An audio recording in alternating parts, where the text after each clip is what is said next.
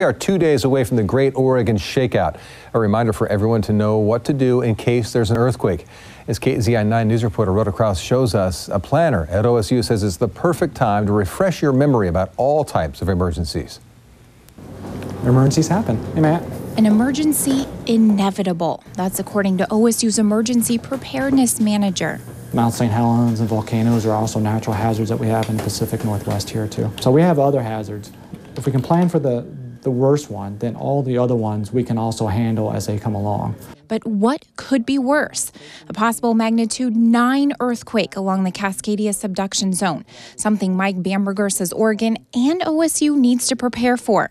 And it's changed from if to when it happens, and now it's changed to within our lifetime. Bamberger's been working at OSU for almost a year. But in three years, I want to be able to do a several exercises that involve more and more of the campus working together versus right now we're just working at individuals and department levels.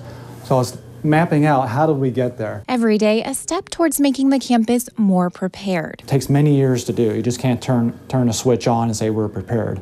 We, uh, we're, we're affecting a culture. We're, we're growing the capability and it's an investment now for the, the, disaster that's coming. Starting from the top. And working with each of the colleges that report to the provost to help, help them develop their emergency plans. And introducing a mobile app with useful information. It's called Crisis Education. Bamberger encourages all students, staff, faculty, and even members of the general public to download the app. Once you pull it up, you can scroll through different emergency scenarios. And once you click on one, it'll tell you what to do in that particular situation. Because we're so bombarded with information information. We don't retain everything. The app providing information for situations we might not always predict.